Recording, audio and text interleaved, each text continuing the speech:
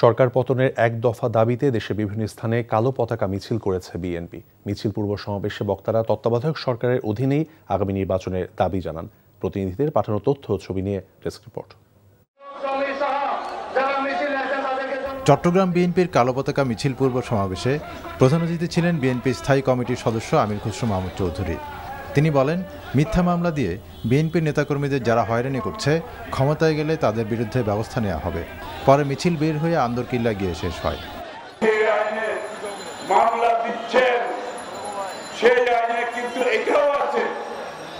এটা যদি মিথ্যা মামলা দিয়ে থাকে, যদি মিথ্যা মামলা দিয়ে থাকে, তাদের কিন্তু শাস্তিযোগ্য অপরাধ। সংসদ বিলুপ্তিকরণ ও নির্দলীয় নিরপেক্ষ সরকারের হাতে ক্ষমতা হস্তান্তর করে নতুন ইসি গঠন করে নির্বাচন অনুষ্ঠানের এক দফা দাবিতে খুলনায় কালো পতাকা মিছিল করে বিএনপি। নারায়ণগঞ্জ প্রেস ক্লাবের সামনে বিএনপির কেন্দ্রীয় কর্মসূচি কালো পতাকা মিছিলের আগে সংক্ষিপ্ত সমাবেশ হয়। সেখানে বক্তৃতা করেন বিএনপির চেয়ারপারসনের উপদেষ্টা জয়নাল আবেদিন ফারেক।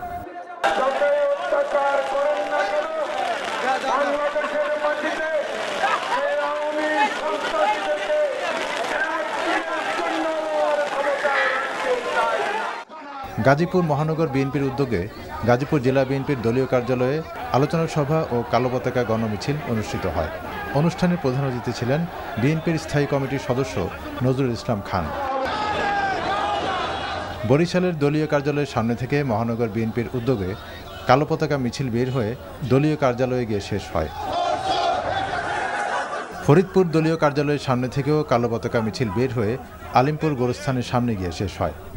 বিএনপির কেন্দ্রীয় কমিটির vice chairman advocate Azam Khan ও সাংগঠনিক সম্পাদক শামা ইসলাম রিঙ্কু কর্মসূচিতে উপস্থিত ছিলেন। Ahmed Sharif, NTV news desk. Roksana Roksana, তুমি কি আমার কথা শুনতে পাচ্ছ?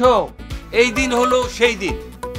যেদিন সেই পাগলা সার তার সকল জড়তা ভুলে ধারাবাহিক নাটক ভালোবাসার অলিগলি রচনা ও পরিচালনা সাগর জাহান। তুমি কি আসলে ভাইয়া বলো তো? তুমি আসলে কিন্তু আমাকে দুইজনের কাছে বিক্রি করে দিয়েছ। আমি তো ভালো করে জানি। তুমি আজকে দিয়ে বলতে তাহলে কালকে আর একটা গার্লফ্রেন্ড ছুটাবা ভালো। কোন মেয়েটা? এটা ধরেন এখানে দুই ভরি আছে। আর কি করতেছে এগুলা? এটা বিক্রি করলে আপনি দেড় লাখ টাকা হলে অন্তত পাবেন। দেখেন আমি যা কিছু করছি তোরা ভালোবাসে। করছি আরে আমি কি টাকা নেওয়ার জন্য এগুলো করছি নাকি? আপনি কি জন্য কি করেছেন সেটা শুধু আপনিই জানেন শহীদ ভাই। আমরা এখন একটা মজার খেলা খেলব। এইটা আপনি ভিডিও করবেন। আমি কিন্তু ভিডিও করতেছি ভাই সেই দেখবেন সোম মঙ্গল ও বুধবার রাত নটা ত্রিশ মিনিটে এনটিভিতে। এখন বিকাশ পাবেন দেশের প্রথম ডিজিটাল লোন